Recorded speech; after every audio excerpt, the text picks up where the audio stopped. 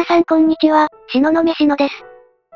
今回紹介する SCP は、アイテム番号、SCP-7470、M はムーンライトの M。収容クラス、ニュートラライゼド。特別収容プロトコル、ダニエル・コリンズ及びその他の SCP-7470 に関連する失踪者の捜索が進行中であり、優先度最高とみなされています。ルブラン大学とその周辺は常時監視が行われています。失踪者の現状に関する法執行機関や民間の調査に対しては、財団標準偽情報プロトコルを適用します。SCP-7470 の開始点であるフィリップ、E、ルイス記念行動は構造上の欠陥の名目で非公開となっており、財団の管轄下に置かれています。月に対する調査が進行中です。月面エリア32に設置された最高司令部は本ファイルの内容を審査するように要請されています。月における予期せぬ現象の発生に備えた有事プロトコルが現在起草中です。全職員は阿弥陀クラス核乱事象の発生の可能性に備える必要があります。さらなる情報についてはあなたの HMCL 監督者に問い合わせてください。説明。SCP-7470 は2023年3月6日の夜間、午後7時頃に発生した、ダニエル・コリンズの失踪及びそれに関連する現象の総称です。NASA などの航空宇宙機関に勤務した経験を有するコリンズは、SCP-7470 の発生以前、U20 年以上にわたってルブラン大学の天文学教授を務めていました。広範囲の身元調査の結果、幼少期に被写公的であったことを除けば異常な点は確認されませんでした。SCP-7470 の発生以前、コリンズは大学の資金を利用して、軌道パターンの年次変動を中心とした月の活動に関する広範な研究を行っていました。彼の研究の本質が教授陣や学生に完全に明かされることはありませんでした。彼の研究成果は SCP-7470 の発生につながった講義中に発表される予定でした。SCP-7470 の終結後、現地の監視所から取得された測定値により、SCP-7470 の発生と同時に微弱な重力異常が生じていたことが判明しました。しかし、これらの異常は事案の性質から要すると考えられるもの、ホイ、A、を参照に比べれば到底及ばない強度のものでした。専門家は現在、SCP-7470 が局地的な空間、時間以上を生成することで、その重力によって発生する地球への被害を軽減したのではないかと推測していますが、この仮説の検証は不可能です。SCP-7470 の終結以降、現在まで月は反転した状態で自転と公転を同期させながら運行しています。すなわち、月は地球から遠かった側の半球を地球に向けて公転しています。財団が運営する天文学科には今後の事案の発生に備えて通告が発せられており、一般大衆の間で生じている不安については偽情報キャンペーンにより抑制を行っています。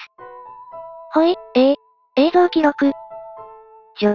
以下は、自身の研究成果に関するダニエル・コリンズの講義中に聴衆の一人が録画した SCP-7470 の記録です。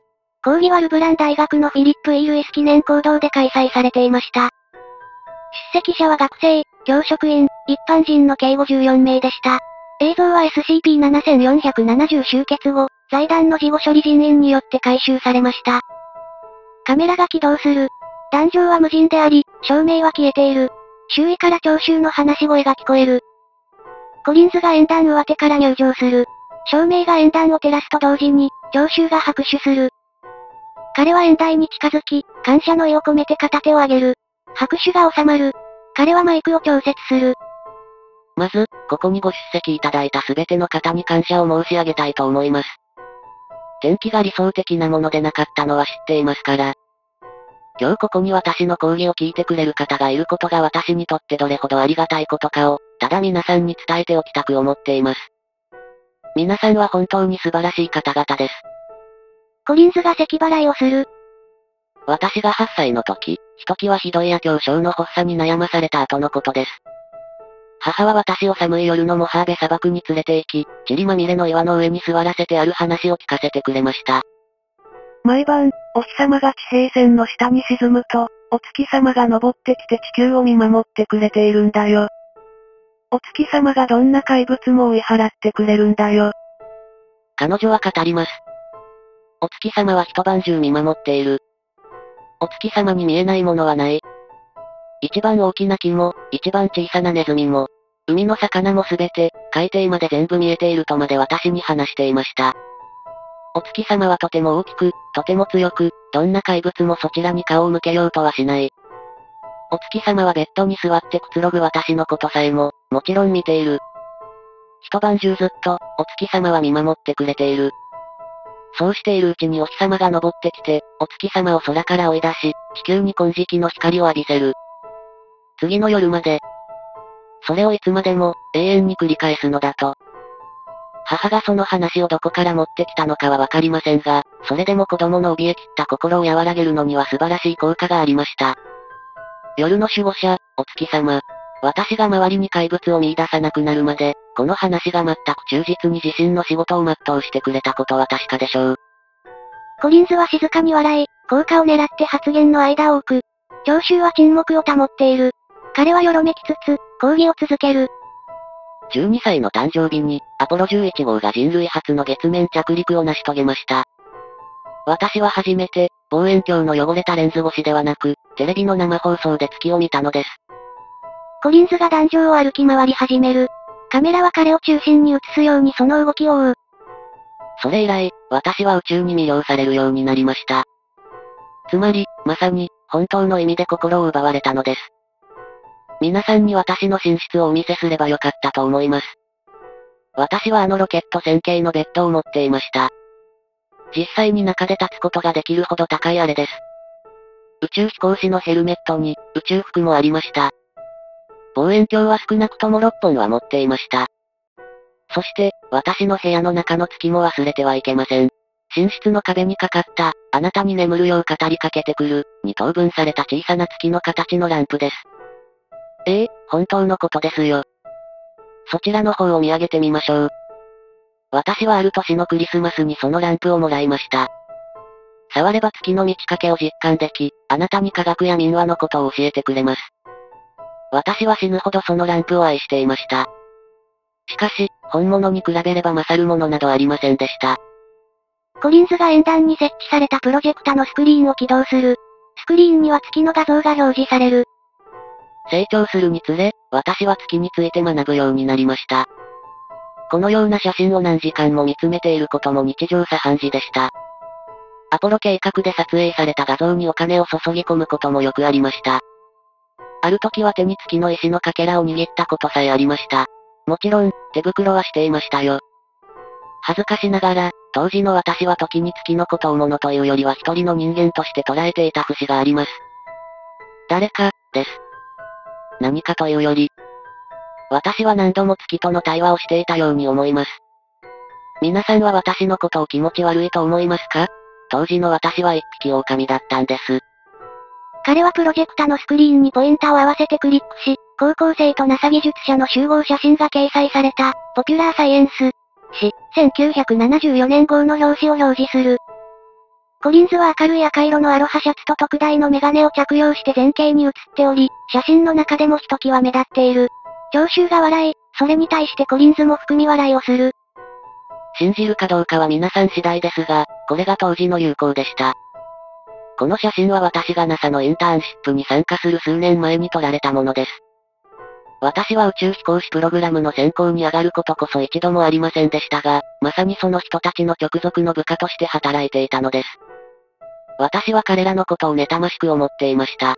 私は長年、デスクジョッキーでしかいられませんでしたから。私はそこを去り、名声を手にする必要があったのです。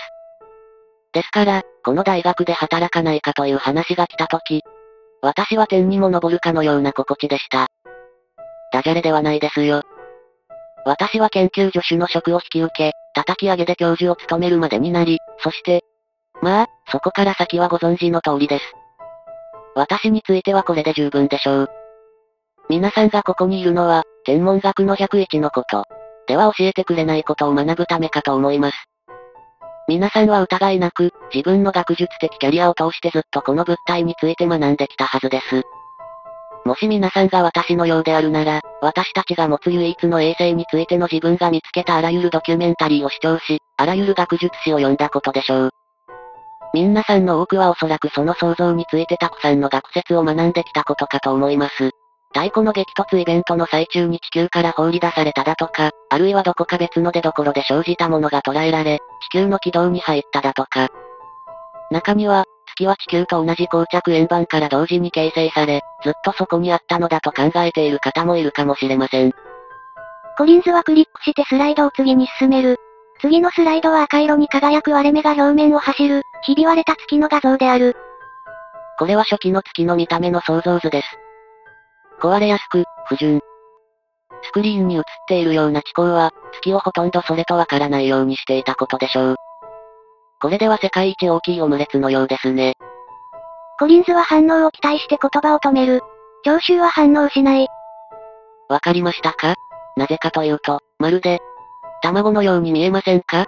まあ、ともかく。コリンズはクリックしてスライドを次に進める。次のスライドは400万年前の月の外見の想像図である。そこには広大な溶岩溜まりがあったことでしょう。月の海です。私たちにはその見た目を想像することしかできません。私はいつも、幼年期の月はかつての地球と同じように、炎と熱、そして生命に満ち溢れて見えたのだろうと想像していました。コリンズはクリックしてスライドを次に進める。次のスライドはハワイの溶岩流である。固体の岩石が加熱されるとどうなるか知っていますか？そうですね、少しタフィーに似た状態になるんです。伸びるようになり、半固体と液体の中間の状態になります。月は、不定形で、転生に富んだ状態だったでしょう。そして、月が十分に熱くなっていれば、それに触れたものにも同じことが起こったはずです。月が今のような冷え切った岩ではなかったのかもしれないというのは信じがたいことですがかつてはそうだったのです。何百万年もの間ね。さて、もう少し近年の歴史について話しましょう。人類は他人のことを知るようになったのと同じ頃から月のことを知ってきました。月は数えきれないほどの偶話、シンボル、そして宗教の中心的存在として描かれてきました。それは測ることもできないほどの昔から私たちを魅了し、幻惑してきたのです。コリンズはクリックしてスライドを次に進める。次のスライドは画質の荒い、歪んだ月の画像である。これはソ連の探査機ルナ3号が撮影した、最初の月の裏側の写真です。これを最初に見たのは59年のロシア人で、後の60年にはこれを元に地図が作成されました。誰に聞いても、彼らは歴史上初めて我らが月の全貌を目にした人間だと答えることでしょう。そのはずですから。しかし、実際はそうではないのです。ソ連のおよそ5年前、私が最初にそれを目にしたのです。日暮れの黄昏時のことでした。地平線の上、太陽がいたところの空がまだ燃えるように黄色く染まった、夜の青色と黒色が空を飲み込むより前の時間です。その後、月が最も明るく輝く時間帯になると、空は月が霧のてっぺんから現れてくるにつれ明るくなっていきます。その夜、月は、とても近くにあるように感じられました。まさに私の手が届き、触れるかと思うほどに。今夜は空に星もありません。あなただけが登っているのです。しかしあなたは何かがおかしかった。いつものあなたとは様子が違っていました。あなたの顔は傷だらけで、汚れていました。クレーターも見えませんでした。自分が夢を見ているのかとも思いましたが、その場の全てはとても現実味を帯びているように感じられました。それにあなたは、いつもより大きかった。その理由は大気による歪みだけではありませんでした。あなたは近くに来ていた。私はあなたが理由があってここにいるのを知っていました。あなたは私のためにここにいた。あなたは私に何かを見せようとしていた。しかし私にはそれが見えなかった。なおあなたは遠すぎたのです。聴衆は著しく不快感を覚えている様子である。前景に映る数人の人物が動き始める中、囁き声が起こる。私はもっと近くまで行く必要がありました。私は今にも、過去100年の科学的大発見のどれよりも華々しいものを目にしようとしていたのです。月が私を呼んでいる。だから私はそれに応えなければならない。なぜ私を選んだのか。それはわかりません。そんなことは重要ではありません。初めて、私の守護者、守り神がその真の姿を私にさらけ出してくれたのですから。しかしそれは刹那の出来事であり、瞬く間に過ぎ去ってしまいました。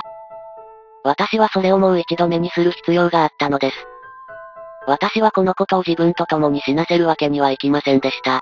私はそれを記録しておく必要がありました。来るべき次世代のために、これを残しておくのです。私には壮観な光景が必要でした。それに、それを見る観客も。指示間が記録される。コリンズが腕時計を確認する。彼は何かをつぶやき、クリックしてスライドを次に進める。スライドは、月が地球を周回する軌道を計算する多数の方程式に囲まれた月の画像を表示している。今夜はスーパームーンです。現在の時刻は午後7時。あと数分ほどで日没です。もう間もなくでしょう。コリンズが体の向きを変え、画面外の何かを見やる。カメラが左に移動し、行動の床から天井まで広がる窓を映す。外の地平線から大きな青白い物体が昇っている。カメラがフォーカスし、この物体が外見上月に類似するものの、大きさ、形状の両面で歪んだ、巨大な概ね球形の存在であることが明らかになる。脈打つような低い振動がカメラを揺らし、聴衆の間で顕著な不安が起こる。今まで私があなたを呼んだ時、すべてあなたは聞いていてくれた。あなたのことを疑ってはいけなかった。申し訳ありません。今、私は準備ができたように思います。皆さん、怖がらないでください。私が最初に言って、安全だということをお見せします。皆さんにお願いしたいことはただ一つ、それを見ていることです。構成のために。コリンズが演壇を降り、建物の外に繋がる扉に注意深く近づく。聴衆が低い囁き声を発する。複数名が携帯電話を取り出し、進行中の事象の記録を開始する。地平線上の物体は膨張しており、振動はテンポと激しさを増している。